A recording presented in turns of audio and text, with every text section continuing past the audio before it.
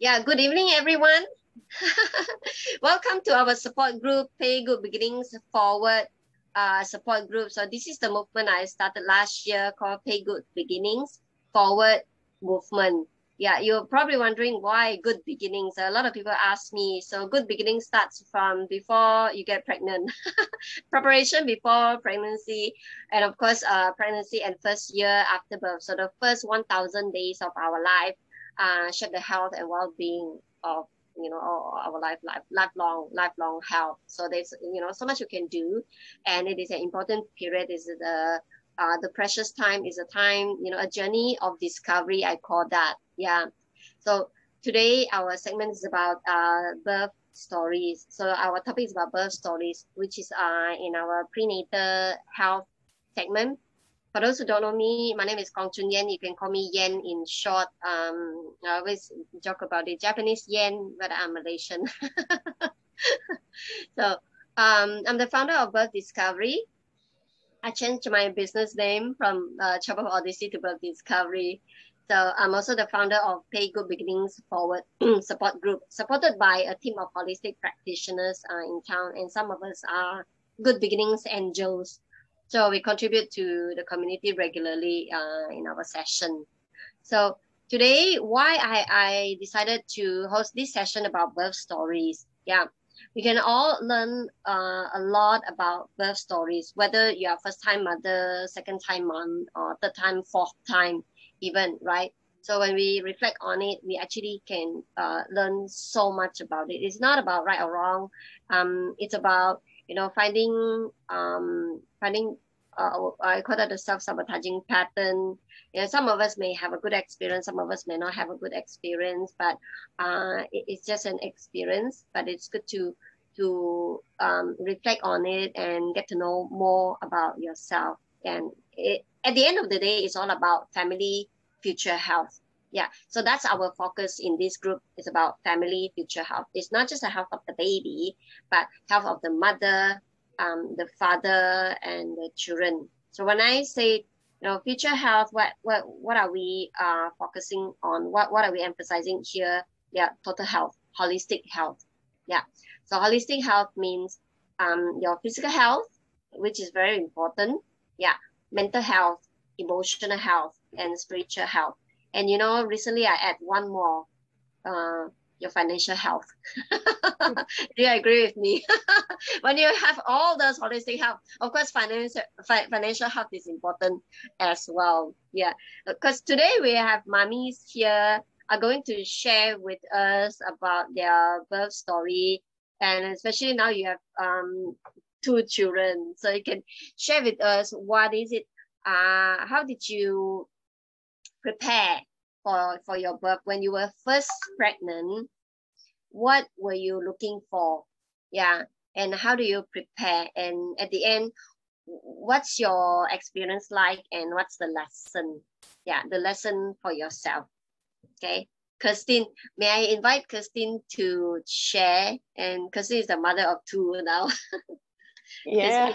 Take it away. Yeah. Thanks, Yen. Um, yeah, my oldest is five and a half now. So I've, yeah, I had to think about this and, and go back in my memory. So I guess before I was pregnant with my first, um, my my idea about childbirth was from TV and all the horrible TV scenes of giving birth that you see, and also from my mother, who I'm one of three children, and her births were quite horrible in comparison. So she was in labor with my oldest brother for 48 hours, and we were all forceps delivery, and it sounded quite horrible. Um, and so I guess that was the picture I had in my mind that terrified me. And so I think from you know a stupidly young age, I was quite worried about one day having to give birth with with those ideas in my head. And then um, when we got pregnant, we were so fortunate because I'd never heard of hypnobirthing, but a few people mentioned it to us when I was pregnant. And um, and so I thought, oh, okay, this is good. Because the other thing for me is that I hate needles. so as much as I wanted like to take away any pain, I also didn't want an epidural or, or a cesarean or anything like that. So um, yeah, quite difficult.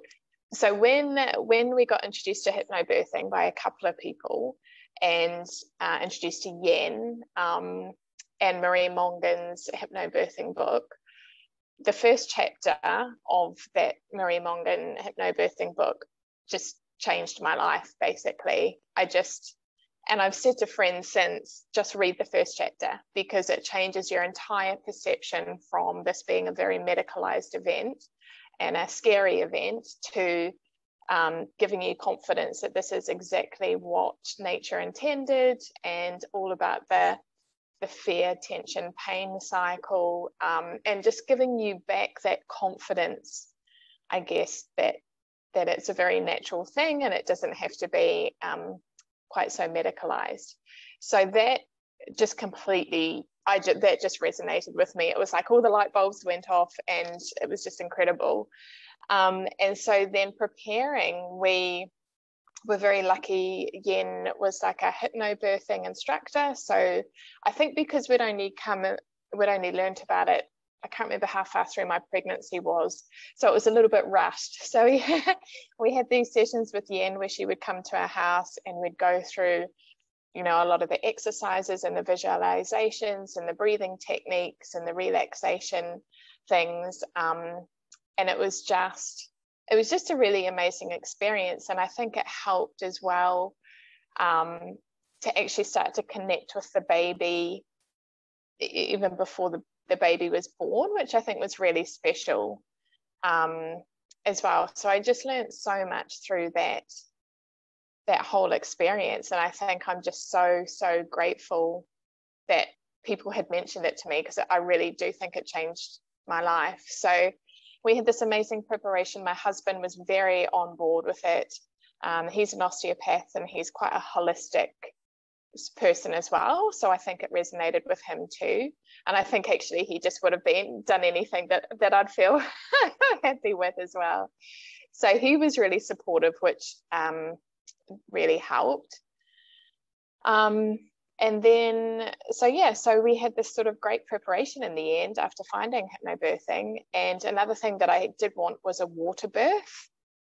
I always feel quite calm in the water. I'm a pisces and i i like the water. So i think the two the hypnobirthing and having the water birth helped me immensely. And um and i gave birth at nuh it was a eight and a bit hour labor I got to have my water birth. Everything went well. Like I just, uh, it still almost brings a tear to my eye because it's like I would have never imagined in my wildest dreams to have such a good experience after what had been in my head for years and years and years. Um, so a lot of the things that helped me were really the visualization and the breathing. I think I had my eyes closed for eight hours while I was in labor, just blocking everything else out. Um, so yeah, I just yeah, it was it was such a good experience for me, and I'm just yeah so grateful. Yen um, and Catherine were a doula, um, and having them help and be present at the birth, I think just helped um, the support, particularly for my husband as well, just having somebody else there that had been there and done that. And um, yeah, I meant I didn't need to worry about my husband during labor. So yeah, so it was it was quite amazing. The recovery was was really good. Um, and I think one of my one of the big things that I learned as well is that you sort of think that the doctor trains for so many years and they know best and you just do what they say. And it seems a bit strange saying this now, but you know, having the hypnobirthing sessions with Yen and um, doing the birth plan made me realize that you can say no, you can do something different, that you can do what feels right for you. And instead of um, you just sort of putting all your confidence in the in the obstetrician, having Yen, like having done the hypnobirthing and having Yen as the doula, it was like it sort of was so much calmer because you know that she had confidence in you, even though you're doing this, you know, giving birth for the first time. And so I think that was a really strong, calming influence that just having Yen there and you it gave me confidence because I knew she had confidence that my baby knew what to do and I knew what to do. Um, and so that was quite a big learning point for me, I think. So, yeah, it was amazing. How would you describe your birth experience, Christine? How would I describe my birth experience? Um, I, I, I feel very lucky that I got to have the birth experience that I'd hoped for. I don't think I completely completely did all the hypnobirthing things. Like I still feel um, like I'm not so good at uh, you know some of the relaxation techniques and the you know meditation things. Like I I sort of struggle with that, but I just I think connecting, feeling connected to my baby and working together with my baby during labor. Yeah. That was really helpful when, when you feel connected to the baby and you have a sense of purpose there, right? Mm, yeah. yeah, oh, yeah, definitely.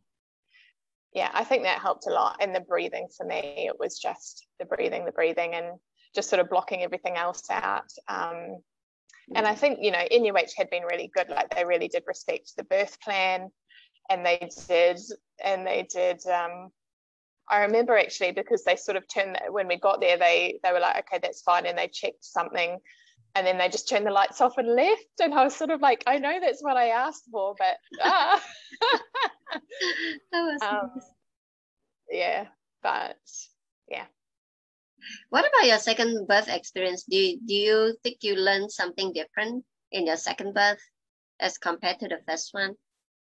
Um, I learned to be a bit more organized packing the hospital bag. we were a bit unorganized with the first one, and both my children were early. Um, no, I think I think I just felt so fortunate because I know a lot of people that have had a tough time with their first are terrified about doing it again with their second, and so I felt um, I felt good. I felt calm about doing it again. Uh, I don't mm-hmm. think I I don't think there was anything sort of additional that I learned second time round, but I, I just feel grateful that some of the terror that friends of mine have experienced going second time round, yeah, wasn't there because I knew that I'd had such a good experience. Mm, great. Thank you, Christine. That was really awesome. you shared quite, quite, quite a bit, quite, quite a good point. I hope the rest um, are getting the juice of it. Yeah.